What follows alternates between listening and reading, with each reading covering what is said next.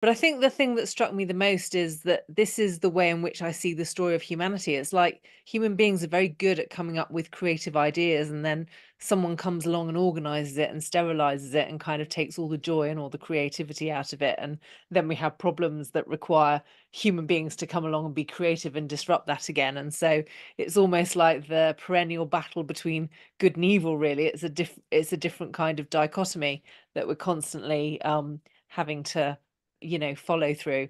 And that's where I see it. I mean, you know, obviously Apple was invented by Steve Jobs, who was very creative, and it's like the suits have come in to organize it, but it's losing its creativity and its spirit and uh and is, you know, in terms of this advert, has produced a very anti-human advert as far as I can tell.